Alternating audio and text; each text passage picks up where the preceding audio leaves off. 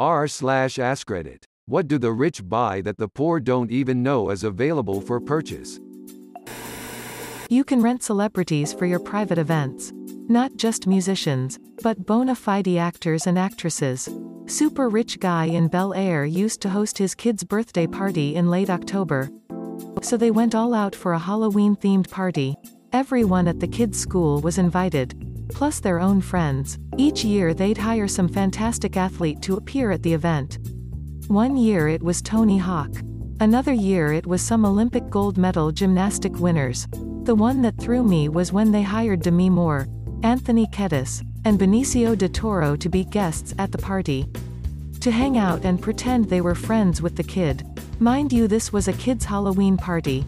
Set outside in a huge, massive garden, spread out over tennis courts and lawns. With games, buffets, dessert tables, taco stands, omelet stands, barbecue, pizza, burgers, etc. No booze. No one allowed inside. All the event staff were dressed in Halloween costumes. It was very cool, but it was sad to see Kiedis and DeToro sitting together commiserating. You could see the duck, the things we do for a paycheck. Look on their faces. They were at a kid's party for F's sake. Demi was very nice. She brought her little doggies.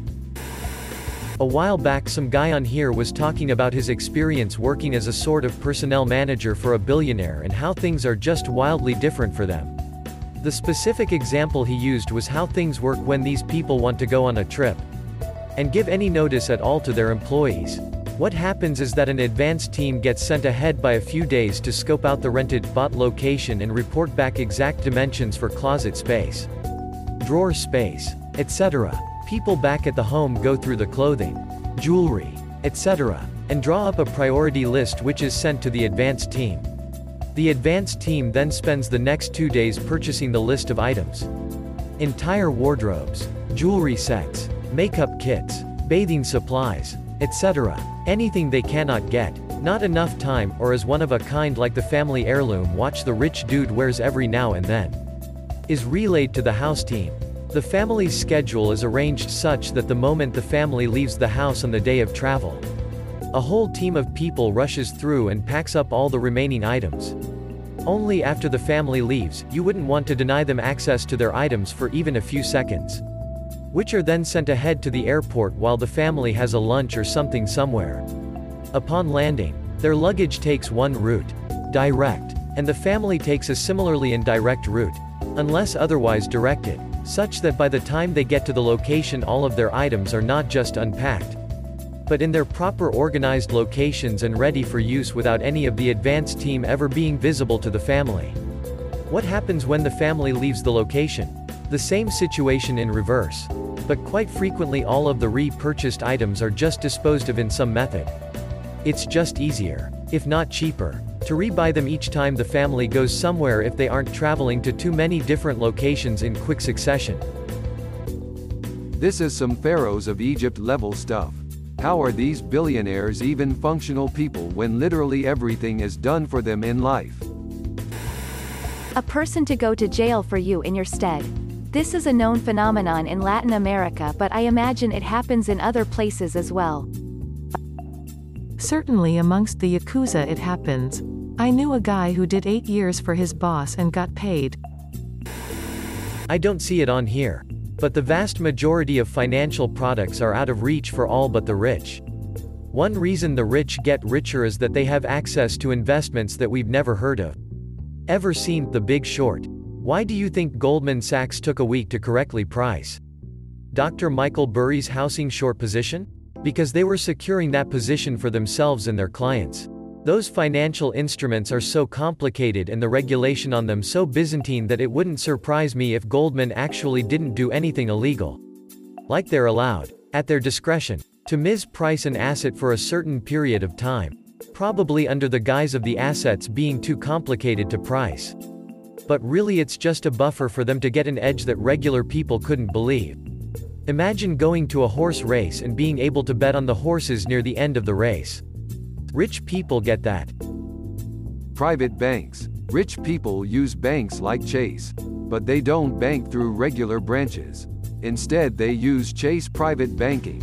They never wait on hold for a banker to pick up the phone. They get same-day access to their deposits, lines of credit, etc. Deposit $3 million into your checking account and you'll get a call from your bank's private banking group. Private boarding gate at certain airports.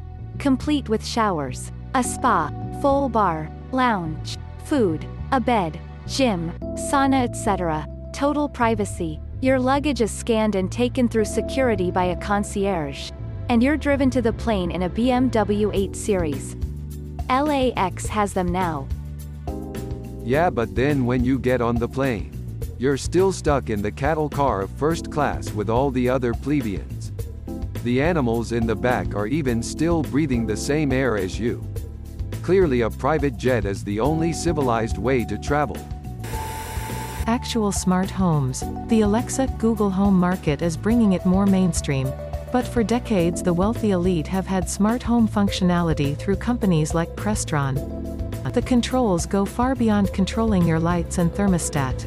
And integrate with more technologies. I had a buddy who hired a driver. Got him to get a chauffeur's license. And then made sure his Jaguar was long enough to meet criteria as a limo. And then he could legally drink in the backseat.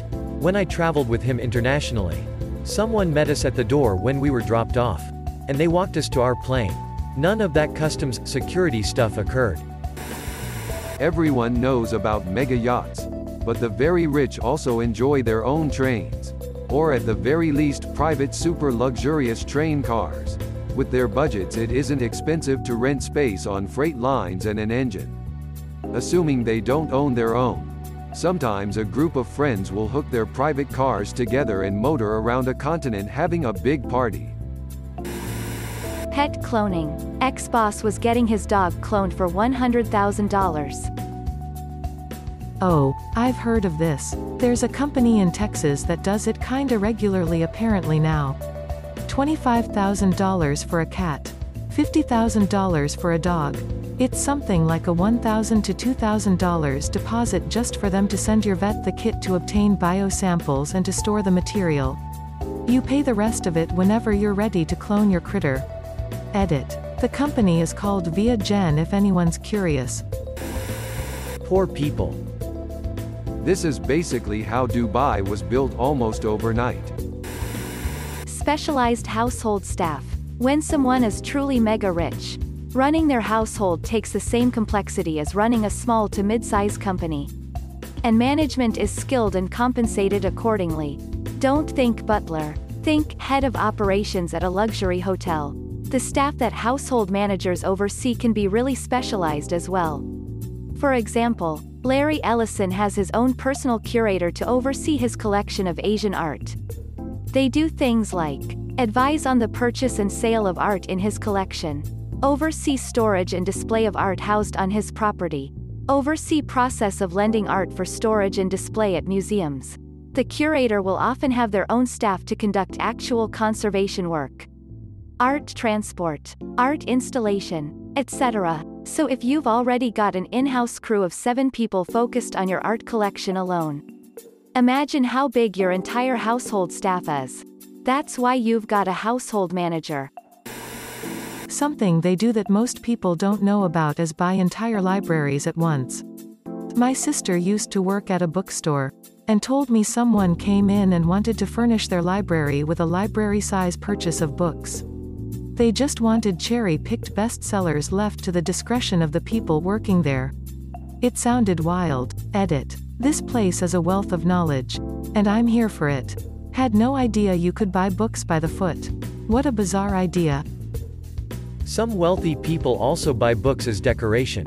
With no intent of reading most of them. They buy books from wholesalers by the linear foot. Specifying how the books look on the shelves, size, color, material of spine, etc., without any regard for what the books actually are. They just need to fill wall space in library, office rooms in their homes.